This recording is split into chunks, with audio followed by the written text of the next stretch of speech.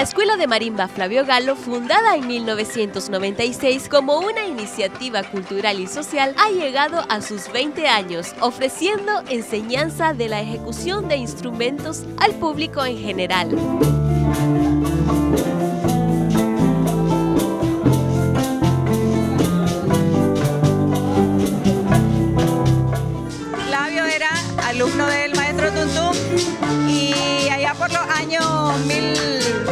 por los años 80 se conocieron y, los dos locos por el arte de la marimba, pues soñaron en, en masificar y en hacer un centro de enseñanza de marimba. Pero la muerte de Flavio sucede en 1994 y ese sueño quedó truncado hasta en 1996, cuando su servidora con el maestro Tuntum nos dimos a la tarea de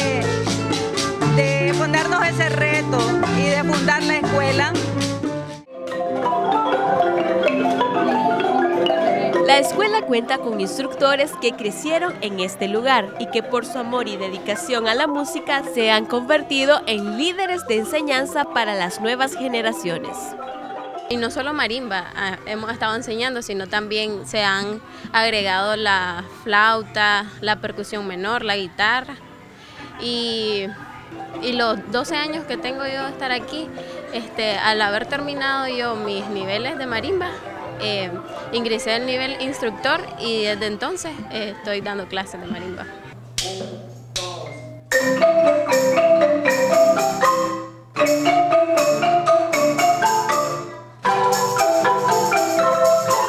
Estuve alrededor de dos años como, como alumno, porque tuve la facilidad de, de acoplarme bien al instrumento, avancé los niveles bastante rápido y después a los dos años ya estaba dando clases como alumno ayudante, inmediatamente ya fui instructor y pues ya tengo más de 15 años creo yo de, de- pasar de instructor y hoy en día pues que soy el director musical del, del- del grupo de marimba.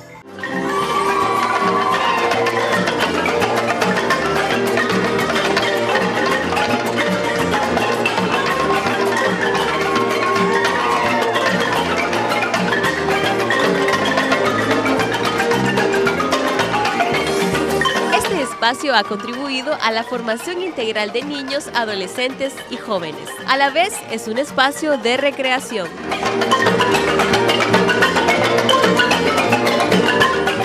Obviamente pues la metodología creo que ha ido mejorando. Hemos tratado de cada año eh, mejorarla para que los alumnos se sientan un poco más satisfechos pues, y, que, y que puedan tocar pues, las diferentes canciones que, que aquí se les da.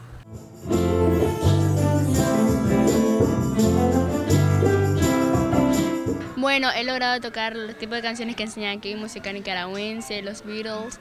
Em, también este, cabe recalcar que gracias a esto he podido llegar a tocar este, como en bandas, eh, música más que todo cristiana. Y me ha servido demasiado ya que me ha permitido expandirme tanto musicalmente como este, socialmente, ya que he conocido personas que están en el ámbito de la música y me ha ayudado demasiado y me han enseñado también. También ha funcionado como un centro de rescate de la música folclórica nicaragüense, lo que permite fortalecer la identidad cultural. y podemos ver cómo ha ido creciendo eh, no solamente el, el interés en los niños, las niñas, los jóvenes, los adolescentes, de promover nuestro propio instrumento, nuestra propia cultura, sino que también hemos ido valorando eh, la marimba como instrumento y al marimbista como el ejecutante.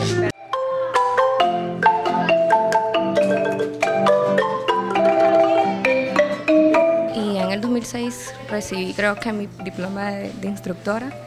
Entonces fui rápida porque realmente esto te tiene que gustar. Lo que, tenés- lo que vas a aprender te tiene que gustar realmente. No es porque, ah, no, tu papá te lo puso y tienes que aprender. No, te tiene que gustar porque si no, no lo vas a aprender. Y eso es en todo. A dos décadas de funciones, esta escuela celebra su compartir tanto con sus alumnos como con las familias que disfrutan de la música nicaragüense al son de guitarras y marimbas. Con imágenes de Alan Mendieta y edición de Lizeth Vargas para De Sol a Sol, Jacqueline Saledón.